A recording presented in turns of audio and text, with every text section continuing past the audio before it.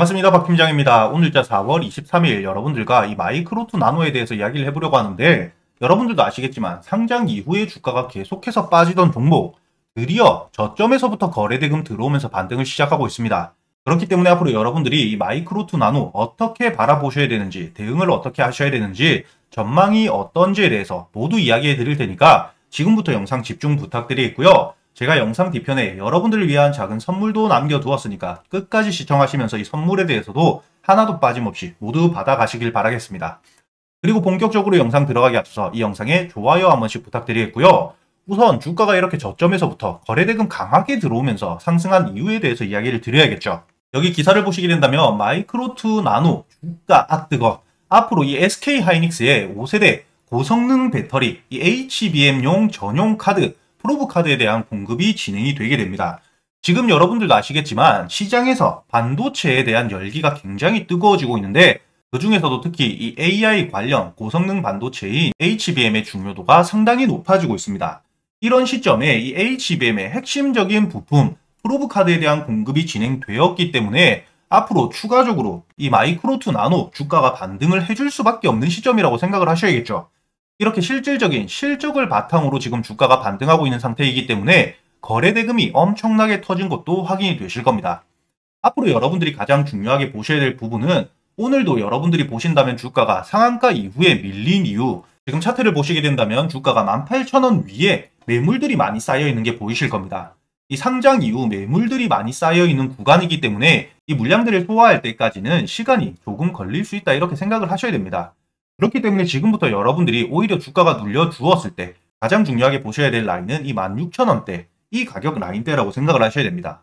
지금 특히 고점에서 매수하셔가지고 아직까지 보유하셨던 분들 고점 매수 이후 손절 못하시고 아직까지 장기 투자가 진행되신 분들이라면 지금부터 주가 눌림 받고 이 16,000원까지 내려왔을 때 지지받는 모습 확인한 이후에 추가 매수 통해서 여러분들이 평단가를 낮춰갈 수 있는 이 기회라고 생각을 하셔야 되고요.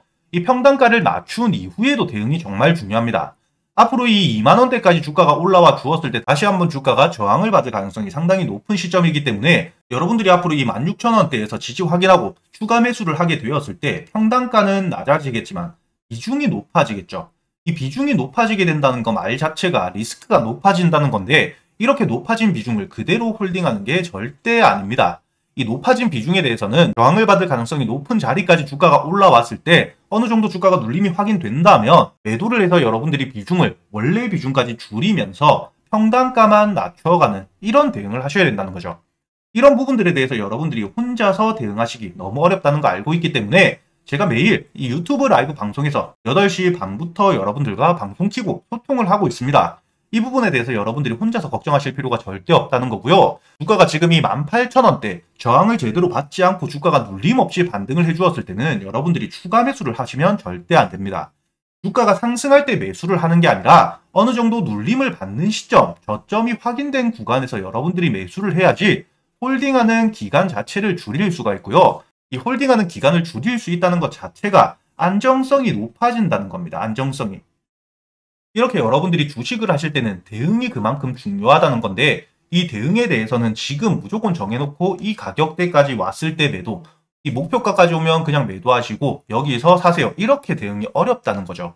단순히 확실한 재료가 있는 종목 바닥에서부터 매수를 한다면 우선 가장 강한 1차 목표가를 정해두고 홀딩을 유지하면서 대응을 할 수가 있겠지만 이렇게 지금 주가가 바닥에서부터 이미 반등을 시작한 시점부터는 어떻게 대응을 하느냐 이 부분에 따라서 여러분들 수익률 자체가 달라진다고 생각을 하셔야 됩니다. 이런 부분들에 대해서는 저도 지금 당장에 이때 매도하고 이때 추가 매수하고 어떻게 하세요 이렇게 정해놓고 이야기를 드릴 수가 없는 거죠. 주가가 강한 저항 라인까지 올라왔을 때 시장 분위기뿐만 아니라 거래 대금들을 확인하면서 이 저항 라인을 강하게 뚫어주는지 아니면 주가가 눌림을 받는지 눌림을 받았을 때는 저점을 어디서 형성해 가는지 이런 부분들을 확인하면서 대응을 해야 되는 거기 때문에 제가 매일같이 유튜브 라이브 방송에서 여러분들과 소통하면서 이야기를 해드리고 있는 거고요.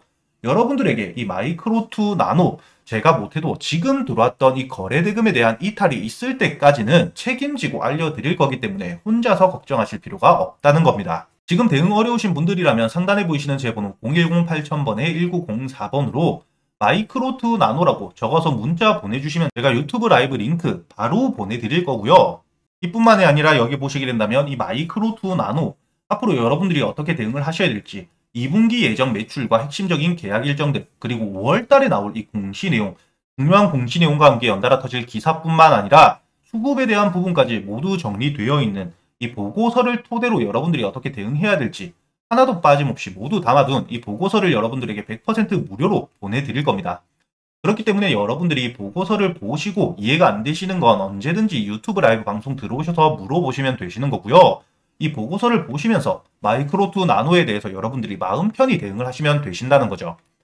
그리고 지금 마이크로2 나노 보유하고 계시는 주주님들도 상당히 많으시기 때문에 이 주주님들과도 여러분들이 소통을 하실 수가 있는 거고요. 그리고 마지막으로 여러분들이 매매를 하실 때이 마이크로2 나노 한 종목만 가지고 매매를 하실 수가 없다는 부분 너무나도 잘 알고 있습니다. 그렇기 때문에 지금 문자 주신 분들에게 제가 한 분도 빠짐없이 이 단타 종목과 스윙 종목에 대해서도 100% 무료로 알려드릴 건데 이 단타 종목 시가 매수할 수 있게 장 전에 제가 알려드릴 거고요. 여러분들이 장 전에 종목을 알아두시고 시가 매수 걸어두신 이후에 매수 이후에 매도는 제가 유튜브 라이브 방송에서 끝까지 매도할 때까지 책임지고 모두 알려드릴 겁니다. 스윙 종목도 마찬가지로 지금 시장 분위기에 가장 부합하는 종목으로 제가 챙겨드릴 거기 때문에 제가 이렇게 단순히 말씀드리는 것보다 오늘 단타 종목에 대해서 시가 매수 이후에 어떻게 진행이 되었는지 지금 바로 보여드릴 수 있도록 하겠습니다. 오늘 제가 여러분들에게 보내드렸던 시가 매수 단타 종목들 시간을 보시게 된다면 오늘 장 전에 제가 보내드린 게 확인이 되실 겁니다.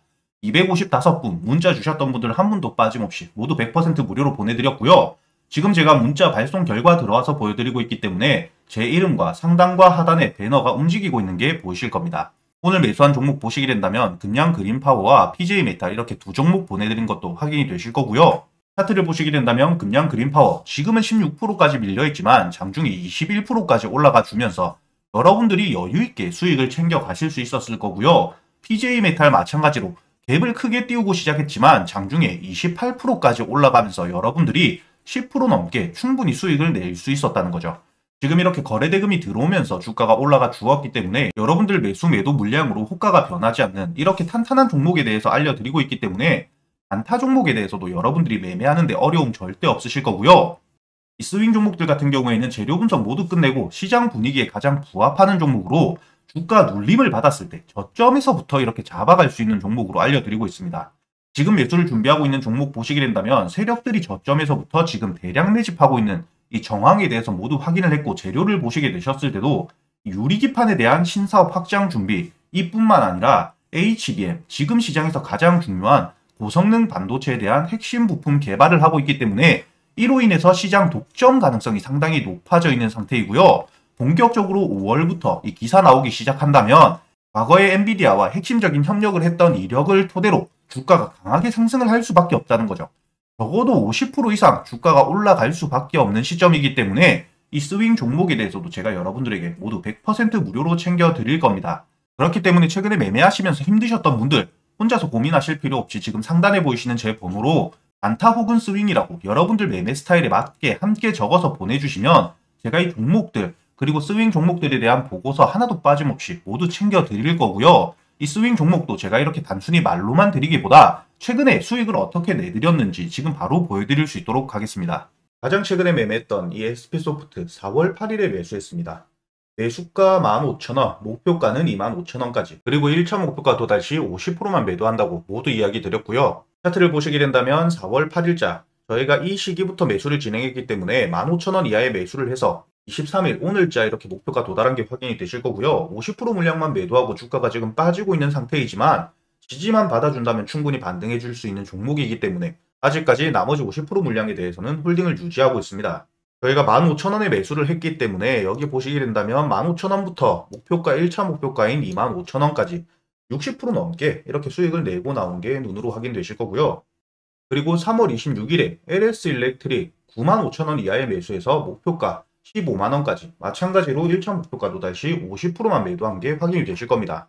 차트로 확인을 해보시더라도 저희가 이렇게 3월 26일 이 시점에 95,000원 이하의 매수를 했기 때문에 여러분들이 여유있게 매수를 해가지고 1차 목표가였던 15만원 도달 이후에 50% 물량은 아직도 마찬가지로 유지하면서 추가적인 수익 이렇게 챙겨가고 있는 거죠. 마지막으로 살펴보실 이 피롭틱스 마찬가지로 3월 6일에 매수를 한 이후에 매수가 13,500원, 목표가는 1차적으로 27,000원까지 제가 알려드렸습니다. 히롭틱스도 지금 보시게 된다면 13,500원 이하에 충분히 여러분들이 여유있게 매수를 할 수 있었다는 게 확인이 되실 거고요. 1차 목표가인 27,000원까지 여러분들이 여유있게 가져간 이후 50% 물량은 아직까지 홀딩을 하고 있기 때문에 지금 보시게 된다면 이렇게 저점에서 매수했기 때문에 고점 찍고 주가 눌리는 시점에도 여러분들이 이렇게 지지를 받아야 될 라인까지만 깨지 않는다면 홀딩하면서 추가적으로 여러분들이 가져가면서 수익을 낼 수가 있다는 거죠.